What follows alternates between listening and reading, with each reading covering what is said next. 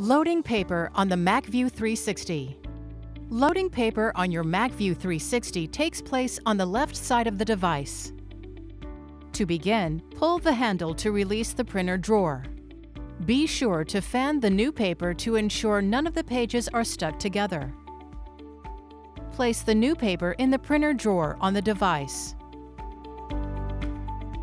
Pull out the top two sheets towards you and make sure they are aligned with the indents on the printer drawer. To close, firmly press the printer drawer on both sides. Close the printer door firmly with two hands.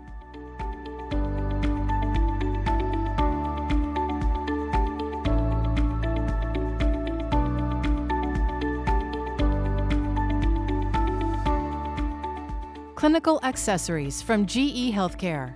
Trusted, reliable, simple.